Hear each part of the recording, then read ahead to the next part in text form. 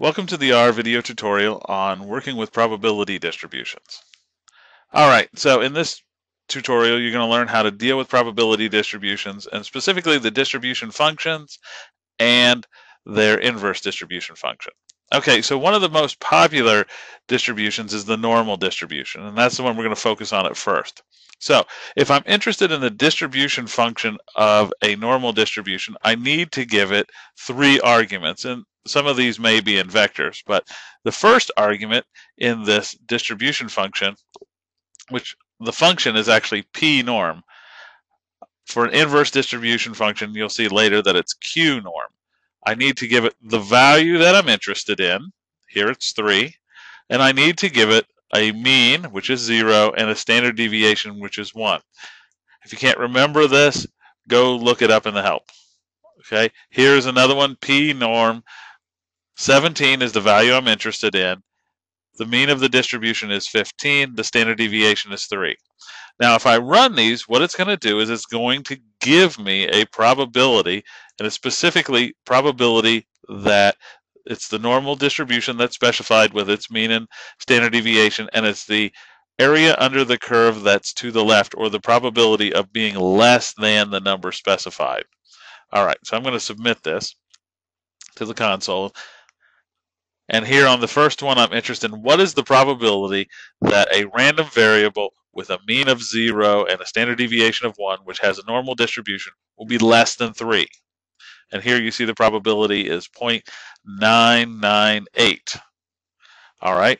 The second argument is what's the probability that a normal random variable with mean 15 and standard deviation of 3 will have a value less than 17. This is not the probability that it's equal to 17. It's the probability of less than.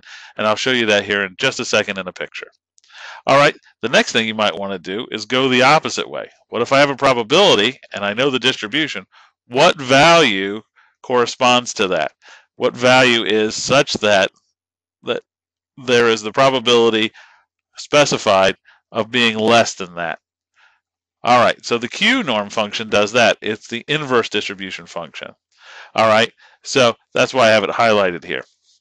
So the first argument is what is the probability or what's the area under the curve that you want to have to the left? Okay, in this case it's 0.75. Then the second argument is the mean and the third argument is the standard deviation. This next one here, the probability that I'm interested in is 0.85, the mean is 15, and the standard deviation is 3. And if I run this, this will tell me the values that correspond to that in the sense that the probability of being less than the value that it spits out will be the specified probability. Okay, for the first one, notice that the probability is 0.75. For a standard normal, which has a mean of 0 and a standard deviation of 1, you see that if you're less than 0.67 on a standard normal distribution, then that probability of being less than that is 0.75. Now, for a distribution with a different mean of 15 and a standard deviation of 3, then the probability of being less than 18.1093 is 0.85, and we specified the 0.85, and this is telling us what value works backwards from that. All right, so I'm going to draw a picture of this, and you don't really need to pay attention to the code, because what I want to do is just draw the picture so you can see what's going on with this. Okay, so here's what I have. I have a normal distribution plotted, and it happens to be the standard normal. But the area that it's giving, or the probability it's giving, is the area to the left. All of the functions in R give the area to the left. You'll have to know how to transform them back around to get area to the right or area in between. But that will be up to you. And you'll notice this is a whole lot easier than looking things up on the table. So other distributions you might be interested in that are common might be the t-distribution. And again, the prefix for the t-distribution will be pt if I'm interested in the probability distribution function, qt if I'm interested in the inverse distribution function.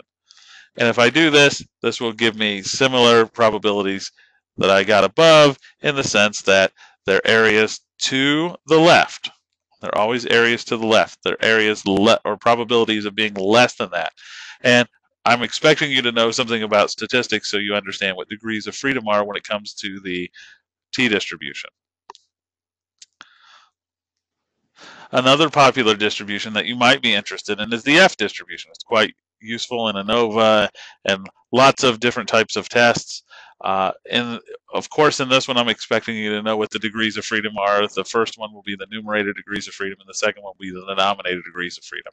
But you can calculate this for the F distribution as well, and this will give you the corresponding area or the value that has the area specified. And again, these are always areas to the left. Another common distribution that you might be interested in is the chi-square distribution. And again, you can use the p in front of the chi-square or the q in front of the chi-square to get either the distribution function or the inverse distribution function. And you need to know which one you're looking for.